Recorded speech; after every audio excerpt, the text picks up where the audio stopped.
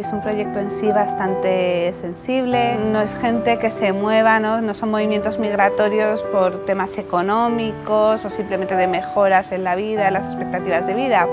Es gente que sale huyendo muchas de las veces con lo opuesto. Lo que más me puede afectar a mí dentro de los casos que he visto son los casos donde hay mujeres ¿no? que se ven afectadas por pues por maltratos de diferentes tipos durante su viaje y que son agredidas sexualmente o que son víctimas de, trata con fines de explotación sexual, esos son los casos que igual a mí más me pueden llegar a afectar.